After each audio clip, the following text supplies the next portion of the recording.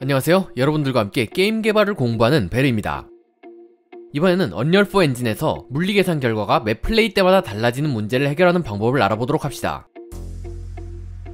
컴퓨터 시뮬레이션으로 물리를 돌리는데 돌릴 때마다 결과가 바뀐다고? 라는 생각이 들 수 있습니다. 실제 현실에서야 물건을 떨어뜨리려고 해둔 준비 과정에서 사람이 하는 일인 이상 물건을 정확히 똑같은 위치에 배치할 수 없고 그 순간 부는 바람의 방향이나 기타 여러가지 요인에 의해서 결과가 바뀔 수는 있습니다. 하지만 컴퓨터 시뮬레이션의 경우에는 물건의 위치야 한번 세팅해두면 바뀌지 않고 바람도 불지 않으니 프로그램에 랜덤성을 주는 세팅을 따로 하지 않았는데도 매번 새로 게임을 플레이시킬 때마다 결과가 다르다는 건 이해가 잘 안 될 수밖에 없습니다.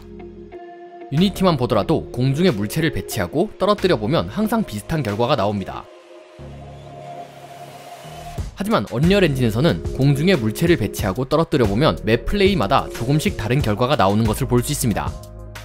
물론 보통의 게임에서는 크게 신경을 쓰지 않아도 되는 부분이지만 세밀한 시뮬레이션을 중요시하는 게임이나 시뮬레이터를 만드는 개발자분들은 신경이 쓰이지 않을 수 없는 부분입니다.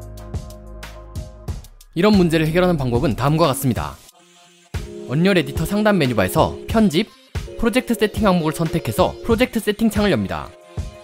그리고 좌측의 리스트에서 일반 세팅을 찾아서 선택합니다. 많은 옵션들이 보이는데 그 중에서 프레임 속도 카테고리를 찾으면 그 안에 고정된 frame rate 사용 옵션이 보입니다.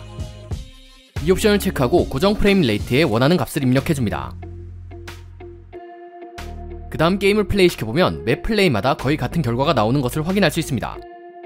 한마디로 매 플레이마다 물리 시뮬레이션 결과가 다르게 나왔던 이유는 유동적인 프레임으로 인해 프레임 단위로 물체끼리 부딪히는 깊이나 강도가 다르게 적용되었기 때문입니다. 이번 영상에서는 언리얼 엔진 4에서 매번 플레이할 때마다 물리 계산 결과가 다르게 나오는 문제에 대해서 알아보았습니다. 이 강좌는 구독자 여러분들의 시청과 후원으로 제작되었습니다.